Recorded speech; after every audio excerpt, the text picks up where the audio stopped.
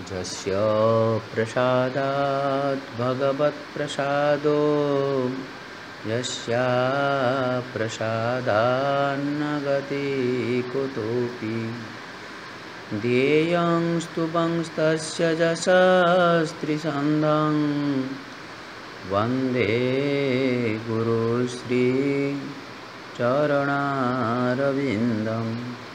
वन्दे गुरुश्री चरणारविन्दं वन्दे गुरुश्री ଚରଣାରବିନ୍ଦମ୍ ଆଜିର ଏହି ପବିତ୍ର ଅବସରରେ ପରମାରାଧ୍ୟ ପରମ ପ୍ରେମମୟ ପ୍ରାଣ ସମ ହୃଦୟର ଧ୍ରୁବତାରା ଆରାଧ୍ୟ ଦେବତା ଶ୍ରୀ ଶ୍ରୀ ଠାକୁର ମହାରାଜଙ୍କର ଅମଳ ବିମଳ ରାତୁଳ ଚରଣରେ ଅନନ୍ତ କୋଟି ପ୍ରଣାମ ନିବେଦନ କରୁଛି ଆଜି ଶ୍ରୀ ଶ୍ରୀ ଠାକୁର ମହାରାଜଙ୍କର ଅର୍ଥାତ୍ ପରମହଂସ ପରିବ୍ରାଜକାଚାର୍ଯ୍ୟ ଶ୍ରୀ ଶୟାଡ଼ ସ୍ୱାମୀ ନିଗମାନନ୍ଦ ସରସ୍ୱତୀ ଦେବଙ୍କର ଆବିର୍ଭାବ ଜୟନ୍ତୀ ଉତ୍ସବ ଆଜି ଦେଶ ବିଦେଶରେ ବିଭିନ୍ନ କ୍ଷେତ୍ରରେ ସମସ୍ତ ଭକ୍ତକୂଳ ସମସ୍ତ ଭାଇ ମାଆମାନେ ଠାକୁରଙ୍କୁ ବିଭିନ୍ନ ଆନୁଷ୍ଠାନିକ ଭାବରେ ଗୃହାଙ୍ଗନରେ ପାରିବାରିକ କ୍ଷେତ୍ରରେ ମଧ୍ୟ ସ୍ମରଣର ଏକ ବିବିଧ ଆୟୋଜନ କରିନେଇଛନ୍ତି ଠାକୁରଙ୍କୁ ସ୍ମରଣ କରୁଛନ୍ତି। ଆମମାନେ ମଧ୍ୟ ଆମର ଏକ କ୍ଷୁଦ୍ର ପରିସର ମଧ୍ୟରେ ଠାକୁରଙ୍କର ସେହି ଦିବ୍ୟ ଲୀଳା ଦିବ୍ୟ ଜୀବନ ଚରିତକୁ ସଂକ୍ଷେପରେ ସାମାନ୍ୟ ଭାବରେ ଆଲୋଚନା କରି ଏହି ରସନେନ୍ଦ୍ରିୟର ସାର୍ଥକତାକୁ ପ୍ରତିପାଦନ କରିବା ପାଇଁ ଆମେ ପ୍ରଯତ୍ନ କରିବା। ଜନ୍ମାନ୍ତର ସିଦ୍ଧ ଜନ୍ମ ଜନ୍ମ ଧରି ବିଭିନ୍ନ ସାଧନ ପଦ୍ଧତିକୁ ଅନୁଶୀଳନ କରି ସିଦ୍ଧିର ସୌଧରେ ଆରୋହଣ କରିଥିବା ସାଧକ ଭାରତବର୍ଷର ଅଧ୍ୟାତ୍ମ ଇତିହାସରେ ଯେଉଁ ସମସ୍ତ ସାଧକମାନଙ୍କର ନାମ ସ୍ୱର୍ଣ୍ଣାକ୍ଷରରେ ଲିପିବଦ୍ଧ ହୋଇ ରହିଛି। ସେମାନଙ୍କ ମଧ୍ୟରେ ଉଜ୍ଜ୍ୱଳତମ ଜ୍ୟୋତିଷ୍କ ହେଉଛନ୍ତି ପରମହଂସ ଦେବ ସ୍ୱାମୀ ନିଗମାନନ୍ଦ ସରସ୍ୱତୀ ଦେବ। ସେ ଏକାଧାରରେ ତନ୍ତ୍ର ଜ୍ଞାନ ଯୋଗ ପ୍ରେମ ଚତୁଃସାଧନାରେ ସିଦ୍ଧି ଲାଭ କରିଥିଲେ। ଭାରତବର୍ଷର ଅଧ୍ୟାତ୍ମ ଇତିହାସକୁ ଅବଲୋକନ କଲେ। ଆଜି ପର୍ଯ୍ୟନ୍ତ ଜଣେ ହେଲେ କେହି ଏକାଧାରରେ ଚାରୋଟି ସାଧନାରେ ସିଦ୍ଧି ଲାଭ କରିଥିବାର କୌଣସି ଦୃଷ୍ଟାନ୍ତ ନାହିଁ। ଦେଖିବାକୁ ମିଳେ ବଶିଷ୍ଠ ଦେବଙ୍କ କ୍ଷେତ୍ରରେ ସେ ଏକାଧାରରେ ତନ୍ତ୍ର ଜ୍ଞାନ ଯୋଗ ସାଧନାରେ ସିଦ୍ଧି ଲାଭ କରିଥିଲେ। ଭାବ ସାଧନାରେ ସିଦ୍ଧି ଲାଭ କରିବା ତାଙ୍କ କ୍ଷେତ୍ରରେ ସମ୍ଭବ ହୋଇନଥିଲା ବା ଆବଶ୍ୟକ ମଧ୍ୟ ହୋଇନଥିଲା। କିନ୍ତୁ ସଦ୍ଗୁରୁ ସ୍ୱାମୀ ନିଗମାନନ୍ଦ ସରସ୍ୱତୀ ଦେବ ଜନ୍ମ ଜନ୍ମାନ୍ତର ଧରି ସାଧନାର ସୌଧରେ ଆରୋହଣ କରି ଏଇ ଜନ୍ମରେ ହିଁ ଏଇ ଶରୀର ହିଁ ହିଁ ଏକାଧାରରେ ସେ ଚାରୋଟି ସାଧନାରେ ସିଦ୍ଧି ଲାଭ କରି ଏକାଧାରରେ ବ୍ରହ୍ମବିଦ୍ ବର ବ୍ରହ୍ମବିଦ୍ ବ୍ରହ୍ମବିଦ୍ ବ୍ରହ୍ମବିଦ୍ ବର ଏବଂ ବ୍ରହ୍ମବିଦ୍ ବରିଷ୍ଠ ପଦରେ ଅଧିରୂଢ଼ ହୋଇ ବ୍ରହ୍ମାତ୍ମୈକ୍ୟ ବୋଧରେ ପ୍ରତିଷ୍ଠିତ ହୋଇ ସଦ୍ଗୁରୁ ପଦରେ ବୃତ ହୋଇ ଏହି କଳିକଳୁଷ କଳିକଳୁଷ ପଙ୍କରେ ନିମଗ୍ନ ଜୀବକୁଳକୁ ଉଦ୍ଧାର କରିବା ପାଇଁ ସେ ଆସିଥିଲେ ନିର୍ବିକଳ୍ପ ସମାଧିରୁ ଆଜି ହେଉଛି ଝୁଲଣ ପୂର୍ଣ୍ଣିମା ତିଥି ଆଜକୁ ଶହେ ଛତିଶ ବର୍ଷ ପୂର୍ବେ ବାରଶହ ସତାଅଶୀ ବଙ୍ଗାବ୍ଦ ଅଠରଶହ ଅଶୀ ମସିହା ଅଗଷ୍ଟ ଉଣେଇଶ ତାରିଖ ଭାଦ୍ରବ ମାସ ନଅ ଦିନ ଚାରି ଦିନ ଗୁରୁବାର ଆବିର୍ଭାବ ଘଟିଥିଲା ତାଙ୍କର ଅବିଭକ୍ତ ବଙ୍ଗ ପ୍ରଦେଶର ନଦିଆ ଜିଲ୍ଲାର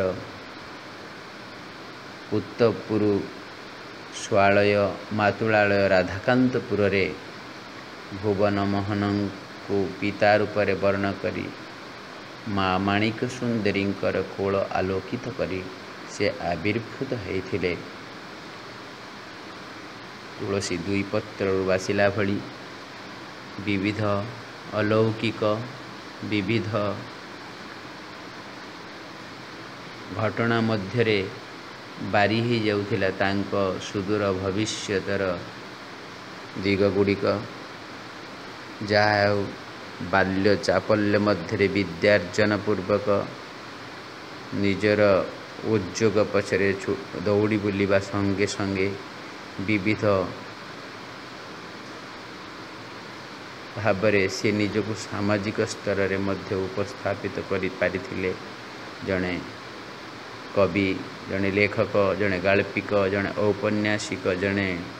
ଅଭିନେତା ପ୍ରଭୃତି ରୂପରେ। ସମୟର କୁଟିଳାଘାତରେ ମାତା ମାଣିକ୍ୟ ସୁନ୍ଦରୀଙ୍କର ପରଲୋକ ଗମନ ଏବଂ ସମ୍ପର୍କିତ ଯାଦୁ ବଙ୍କିମ ଚନ୍ଦ୍ର ଚଟ୍ଟୋପାଧ୍ୟାୟଙ୍କର ଗମନ ପରେ ସେ କିଛିଟା ବ୍ୟତିବ୍ୟସ୍ତ ହୋଇ ଉଠିଥିଲେ ଏବଂ ପରବର୍ତ୍ତୀ କାଳରେ ତେରଶହ ତିନି ବଙ୍ଗାବ୍ଦ ଅଠରଶହ ସତାନବେ ମସିହାରେ ତାଙ୍କର ପରିଣୟ ଘଟିଥିଲା। ମାତାଙ୍କର ନିର୍ବାଚିତ ମତାନ୍ତର ତେରଶହ ଚାରି ବଙ୍ଗାବ୍ଦ ବୋଲି ମଧ୍ୟ କୁହାଯାଏ ମାତାଙ୍କର ନିର୍ବାଚିତା କନ୍ୟା ସୁଧାଂଶୁ ବାଳାଙ୍କ ସହିତ ମାତ୍ର ଚାରି ବର୍ଷର ବୈବାହିକ ଜୀବନରେ ନିୟତିର କୋଟିଳାଘାତରେ ସୁଧାଂଶୁ ବାଳା ଏକ ମୃତକନ୍ୟାକୁ ପ୍ରସବ କରି ଉଣେଇଶହ ଏକ ମସିହାରେ ଦେହତ୍ୟାଗ କରିଥିଲେ ପରଲୋକକୁ ଗମନ କରିଥିଲେ ଏକାଧିକ ଥର ପରଲୋକଗତା ପତ୍ନୀର ଛାୟାମୂର୍ତ୍ତିକୁ ଅବଲୋକନ କରି ମୃତ୍ୟୁ ପରେ ସବୁକିଛି ଶେଷ ହୋଇଯାଏନି ମୃତ୍ୟୁ ପରେ ମଧ୍ୟ ଆତ୍ମାର ଅବସ୍ଥିତି ରହିଛି। ଏହି ତତ୍ତ୍ୱକୁ ଉଦ୍ଘାଟନ କରିବା ପାଇଁ ସିଏ ଦିଗ୍ଭ୍ରାନ୍ତ ହୋଇ ଘୁରି ବୁଲିଲେ ଏବଂ ବିଭିନ୍ନ କ୍ଷେତ୍ରରେ ବିଭିନ୍ନ ସାଧୁ ସନ୍ନ୍ୟାସୀ ବିଭିନ୍ନ ଜନଙ୍କ ନିକଟରେ ଯାଇ ପହଞ୍ଚିବା ପରେ ଶେଷରେ କଲିକତାରେ ବିନ୍ଧ୍ୟାଚଳର ସ୍ୱାମୀ ପୂର୍ଣ୍ଣାନନ୍ଦ ସ୍ୱାମୀଙ୍କ ସ୍ୱାମୀ ପୂର୍ଣ୍ଣାନନ୍ଦଜୀଙ୍କ ସହିତ ତାଙ୍କର ସାକ୍ଷାତ ହେଲା। ସେ ତାଙ୍କ ନିକଟରେ ନିଜର ଅଭାବକୁ ପ୍ରକଟ କରିବା ପରେ ପୂର୍ଣ୍ଣାନନ୍ଦଜୀ ତାଙ୍କୁ କହିଥିଲେ ଯେ ସ୍ତ୍ରୀଆ ସମସ୍ତ ସକଳା ଜଗତ୍ସୁ ସମସ୍ତ ମାତୃମୂର୍ତ୍ତି ମାତ୍ରେ ହିଁ ସେହି ମହାମାୟାଙ୍କର ଏହି ଅଂଶ ବିଶେଷ ତେଣୁ ତୁମର ସ୍ତ୍ରୀ ମଧ୍ୟ ଦେହ ତ୍ୟାଗ ପରେ ସେଇ ମାଆଙ୍କ ସହିତ ଏକାକାର ହେଇ ରହିଛନ୍ତି ତୁମେ ମାଆଙ୍କର ସାଧନା କର ସେଥିରୁ ସବୁକିଛି ତୁମର ସମାଧାନ ହେଇଯାଇପାରିବ। କିନ୍ତୁ ସେଇ ମାଆଙ୍କର ସାଧନା ପାଇବାକୁ ହେଲେ ତୁମକୁ ଗୁରୁଙ୍କର ଅନ୍ୱେଷଣ କରିବାକୁ ପଡ଼େ ମୁଁ ତୁମର ନିର୍ଦ୍ଦିଷ୍ଟ ଗୁରୁ ନୁହଁ ଏବଂ ତୁମକୁ ଦୀକ୍ଷା ଗ୍ରହଣ ପୂର୍ବକ ଗୁରୁଙ୍କ ନିର୍ଦ୍ଦେଶିତ ପଥରେ ଜୀବନଯାପନ କଲେ ତୁମେ ମାଆଙ୍କର ସାକ୍ଷାତକାର ପ୍ରାପ୍ତ ହୋଇପାରିବ ପୂର୍ଣ୍ଣାନନ୍ଦଙ୍କ ଠାରୁ ଏହି ସାମାନ୍ୟ ସୂଚନା ପ୍ରାପ୍ତ ହୋଇ ଦୀକ୍ଷା ଏବଂ ମନ୍ତ୍ର ପ୍ରାପ୍ତି ନିମିତ୍ତ ସେ ପ୍ରାୟ ପାଗଳ ହୋଇ ଉଠିଲେ ଉଣେଇଶହ ଏକ ମସିହା ମାର୍ଗଶିର ମାସ ସେ ଏକାକ୍ଷରୀ ମନ୍ତ୍ର ପ୍ରାପ୍ତ ହେଲେ କାଶୀରେ ଏବଂ ତାପରେ ସେହି ମନ୍ତ୍ରର ସାଧନ ସମ୍ପର୍କରେ ବିଭିନ୍ନ କ୍ଷେତ୍ରରେ ଘୁରି ଘୁରି ଶେଷରେ ପୁଣି ସେହି କାଶୀଠାରୁ ହିଁ ଦିଗ୍ଦର୍ଶନ ପ୍ରାପ୍ତ ହେଲେ। ଜଣେ ଲୋଳ ଚର୍ମ ବୃଦ୍ଧ ବ୍ରାହ୍ମଣ ଆସି ତାଙ୍କୁ କହିଲେ ବାମାକ୍ଷେପା ତାରାପୀଠର ବାମାକ୍ଷେପା ହିଁ ତୁମର ନିର୍ଦ୍ଦିଷ୍ଟ ତନ୍ତ୍ରର ମାର୍ଗଦର୍ଶକ ଗୁରୁ ତୁମେ ତାଙ୍କ ନିକଟକୁ ଗମନ କର ବାମାକ୍ଷେପାଙ୍କର ଏକୋଇଶ ଦିନର ସାଧନାଭ୍ୟାସ ବଳରେ ଗୋଟିଏ ମାତ୍ର ରାତ୍ରିର ଚିତା ସାଧନରେ ସିଏ ଜଗଜ୍ଜନନୀ ମହାମାୟା ତାରାଙ୍କୁ ସାକ୍ଷାତ ମନମୟୀ ମୂର୍ତ୍ତି ସୁଧାଂଶୁବାଳାର ରୂପରେ ଦର୍ଶନ କଲେ ମା ତାଙ୍କୁ ବର ପ୍ରାର୍ଥନା କରିବାକୁ କହିଲା ବେଳେ ନଳିନୀକାନ୍ତ କହିଲେ ମୁଁ ଭିକ୍ଷାରେ ଜୁଲି ନେଇ ତୁମ ପାଖକୁ ଆସିନି ତୁମେ ଯଦି ଏକାନ୍ତରେ ବର ପ୍ରଦାନ କରିବା ପାଇଁ ଚାହଁ ତାହେଲେ ମୋତେ ଯେତେବେଳେ ହିଁ ସ୍ମରଣ କରିବି ଏହିଭଳି ହିଁ ଦର୍ଶନ ଦେବ ଏହି ଅଙ୍ଗୀକାର କର ଏବଂ ତୁମର ଦ୍ୱିତୀୟ ବରରେ ତୁମର ତତ୍ତ୍ୱମୟୀ ମୂର୍ତ୍ତି ପ୍ରଦର୍ଶନ କରାଅ ମା ତଥାସ୍ତୁ କହି ବର ଉଭୟକୁ ସ୍ୱୀକାର କରେ ତତ୍ତ୍ୱମୟୀ ମୂର୍ତ୍ତି ଦର୍ଶନ ପୂର୍ବକ ସାଧକ ଚେତାଶୂନ୍ୟ ହୋଇ ପଡ଼ିଗଲେ ଅଦୂରରେ ତାରା ମାଙ୍କର ମନ୍ଦିରରେ ଅବସ୍ଥାନ କରୁଥିବା ମହାକୌଳ ତନ୍ତ୍ରସିଦ୍ଧ ବାମାକ୍ଷେପ ଆସି ତାଙ୍କୁ ଅଙ୍କକୁ କୋଳକୁ ଜାବୁଡ଼ି ନେଇ ତାଙ୍କର ଚେତାକୁ ଫେରାଇ ବହୁତ ସନ୍ତୋଷ ପ୍ରକାଶ କଲେ। କହିଲେ ମୁଁ ତୋତେ ଶିଷ୍ୟ ରୂପରେ ପ୍ରାପ୍ତ ହେଇ ମୁଁ ମଧ୍ୟ ଧନ୍ୟ। ଆଉ ତୁ ମାଆଙ୍କର ଦର୍ଶନ ପ୍ରାପ୍ତ ହେଇଥିବାରୁ ତୁ ମଧ୍ୟ ଧନ୍ୟ। କିନ୍ତୁ ତାପରେ ଆଶୀର୍ବାଦ ପୂର୍ବକ ଗୁରୁଙ୍କର ଆଶୀର୍ବାଦ ଲାଭ କରି ମାଆଙ୍କର ଆଶୀର୍ବାଦ ଲାଭ କରି କର୍ମକ୍ଷେତ୍ର କୁମିରାକୁ ଫେରି ଆସିଲେ ନଳିନୀକାନ୍ତ। ପୂର୍ବାଶ୍ରମର ନାମ ଥିଲା ତାଙ୍କର ନଳିନୀକାନ୍ତ। ନଳିନୀକାନ୍ତ କିନ୍ତୁ ଯେତେବେଳେ ସ୍ମରଣ କରନ୍ତି ତାଙ୍କ ଅଙ୍ଗ ଜ୍ୟୋତିରୁ ହିଁ ମା ତାରାଙ୍କର ମା ତାରା ମା ତାରା ସୁଧାଂଶୁବାଳାଙ୍କ ମନମୟୀ ମୂର୍ତ୍ତିରେ ପ୍ରକଟିତ ହୁଅନ୍ତି ନଳିନୀକାନ୍ତଙ୍କ ସମ୍ମୁଖରେ ସେଇଠାରୁ ସୂଚନା ହୁଏ ଯେ ମୋ ଅଙ୍ଗ ଜ୍ୟୋତିରୁ ଯଦି ତାରା ମାଆଙ୍କର ଜନ୍ମ ତାହେଲେ ମୁଁ କିଏ ତାରା କିଏ କୋହଂ କା ତାରା ଏହି ପ୍ରଶ୍ନର ସମାଧାନ ପାଇ ବାମାକ୍ଷେପାଙ୍କ ନିକଟକୁ ଯିବା ପରେ ମାଆଙ୍କ ଦିଗ୍ଦର୍ଶନରେ ସିଏ ସନ୍ନ୍ୟାସ ପଥରେ ପଦବିକ୍ଷେପ କରନ୍ତି ଏବଂ ଯାଇ ଆଜମିରରେ ତାଙ୍କର ସେଇ ମନ୍ତ୍ର ପ୍ରଦାତା ଗୁରୁ ସଚ୍ଚିଦାନନ୍ଦଙ୍କର ସାକ୍ଷାତ ଲାଭ କଲେ ସେ ଉଣେଇଶହ ଦୁଇ ମସିହାରେ। ତାଙ୍କ ସନ୍ନିଧାନରେ ଅବସ୍ଥାନ ପୂର୍ବକ ମଠାଶ୍ରମର କଠୋରତାକୁ ଅତିକ୍ରମ କରି ଉଣେଇଶହ ଦୁଇ ମସିହା ଭାଦ୍ରବ ମାସ ଏଗାର ତାରିଖରେ ସେ ସଚ୍ଚିଦାନନ୍ଦ ସରସ୍ୱତୀ ପରମହଂସ ଦେବଙ୍କ ନିକଟରୁ ସନ୍ନ୍ୟାସ ଦୀକ୍ଷା ପ୍ରାପ୍ତ ହୋଇ ସ୍ୱାମୀ ନିଗମାନନ୍ଦ ସରସ୍ୱତୀ ନାମରେ ନାମିତ ହେଲେ ଏବଂ ତାଙ୍କ ନିର୍ଦ୍ଦେଶରେ ଚତୁର୍ଧାମ ପରିକ୍ରମା ପୂର୍ବକ ଅର୍ଥାତ୍ ଉତ୍ତରରେ ବଦ୍ରୀ ନାରାୟଣ ଏବଂ ପଶ୍ଚିମରେ ପଶ୍ଚିମରେ ଶାରଦା ପୀଠ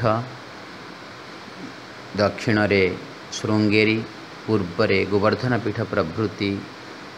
ପୀଠକୁ ପରିକ୍ରମା ତତ୍ରସ୍ଥ ମହାବାକ୍ୟର ବିଚାର ପୂର୍ବକ ପୁଣି ଗୁରୁଙ୍କ ନିକଟକୁ ଫେରିଯିବା ପରେ ଏହି ସମସ୍ତ ତତ୍ତ୍ୱକୁ ପ୍ରତ୍ୟକ୍ଷ ରୂପରେ ଦର୍ଶନ କରିବା ପାଇଁ ସିଏ ଇଚ୍ଛା ପ୍ରକଟ କରିବାରୁ ଗୁରୁଜୀ ତାଙ୍କୁ କହିଥିଲେ ଏ ମୋତେ ହିଁ ସିଦ୍ଧି ଲାଭ କରିବା ପାଇଁ ଜ୍ଞାନ ପଥରେ ଚାଳିଶ ବର୍ଷ ସମୟ ଲାଗିଛି ତୋ ପାଖରେ ଏତେ ସମୟ ନାହିଁ। ତୁ ଟିକିଏ ଯୋଗ ପଥରେ ଆସି ଏ ସମସ୍ତ ତତ୍ତ୍ୱକୁ ଅବଲୋକନ କରିବାକୁ ଚେଷ୍ଟା କର ଅନାୟାସରେ ତାହା ଲାଭ କରିପାରିବୁ ତେଣୁ ସେ ଗୁରୁଜୀଙ୍କ ନିର୍ଦ୍ଦେଶରେ ପୁଣି ଯୋଗୀଗୁରୁ ଅନ୍ୱେଷଣ କରିବା ପାଇଁ ଲାଗିଲେ। ଯୋଗୀଗୁରୁ ଅନ୍ୱେଷଣ କରୁ କରୁ ଆସି କାଳୀଘାଟରେ ଉପସ୍ଥିତ ହେଲେ ମା କାଳୀଙ୍କର ଦର୍ଶନ ନିମିତ୍ତ ସେଠାରେ କିଛି ସାଧୁଙ୍କ ସହିତ ସେ ଅମ୍ବୁବାଚୀରେ ବ୍ରହ୍ମକୁଣ୍ଡ ଦର୍ଶନ କରିବା ପାଇଁ ଗଲେ। ବ୍ରହ୍ମକୁଣ୍ଡରେ ସ୍ନାନ କରିବା ପାଇଁ ଗଲେ କିନ୍ତୁ ଯିବା ପଥରେ ଅତ୍ୟନ୍ତ ଅସୁସ୍ଥତା ହେତୁ ସେ ଅଟକି ଗଲେ। ଦର୍ଶନ ସେ ଆଉ ଯାଇପାରିଲେ ନାହିଁ। ତାଙ୍କର ଏହି ଅସୁସ୍ଥତା ସତ୍ତ୍ୱେ ମଧ୍ୟ ସଙ୍ଗୀ ଅନ୍ୟାନ୍ୟ ସାଧୁମାନେ ତାଙ୍କୁ ତ୍ୟାଗ କରି ଆସିବା ପରେ ସିଏ ସେଠାକାର ପାହାଡ଼ୀ ଲୋକଙ୍କର ତତ୍ତ୍ୱାବଧାନରେ ସୁସ୍ଥ ହେଲେ। ସୁସ୍ଥ ହେବା ପରେ ଦିନେ ପାର୍ବତ୍ୟ ଶୋଭା ଉପଭୋଗ କରିବାକୁ ଯାଇ ସମୟ ଅତିକ୍ରାନ୍ତ ହୋଇଯିବାରୁ ରାତ୍ରିରେ ଏକ ବୃକ୍ଷ କ୍ରୋଡ଼ରେ ଅବସ୍ଥାନ କରି ପ୍ରାତଃ ସମୟରେ ସେହି ବୃକ୍ଷ ମୂଳରେ ଅବସ୍ଥାନ କରୁଥିବା ଜଟାଜଟ ବିମଣ୍ଡିତ ଜଣେ ଦୀର୍ଘକାୟ କୌପିନ୍ୟ ପରିହିତ ଜଣେ ସାଧୁଙ୍କୁ ସେ ଦର୍ଶନ କଲେ। ଯିଏକି ଥିଲେ ତାଙ୍କର ଯୋଗୀ ଗୁରୁ ସୁମେର ଦାସଜୀ ତାଙ୍କ ସହିତ ସେହି ହିମାଳୟର ଏକ ଗୁହାରେ ଯାଇ ସିଏ ପ୍ରାୟ ତିନି ମାସ ଅବସ୍ଥାନ ପୂର୍ବକ ଯୋଗର ବିଭିନ୍ନ କୌଶଳକୁ ଶିକ୍ଷା ଗ୍ରହଣ କୌଶଳର ଶିକ୍ଷା ଗ୍ରହଣ କଲେ ଏବଂ ଲୋକାଳୟକୁ ପୁଣି ତାଙ୍କ ଫେରିଆସି ଯୋଗର ସାଧନ ସମ୍ପର୍କରେ ଆସି ମେଦିନୀପୁରର ହରିପୁରଠାରେ ଏବଂ ମତାନ୍ତରରେ ବଙ୍ଗପ୍ରଦେଶରେ ବୋଲି ମଧ୍ୟ କୁହାଯାଏ ପୂର୍ବବଙ୍ଗରେ ମଧ୍ୟ କୁହାଯାଏ। ହରିପୁରଠାରେ ଜଣେ ଜମିଦାରଙ୍କ ତତ୍ତ୍ୱାବଧାନରେ ରହି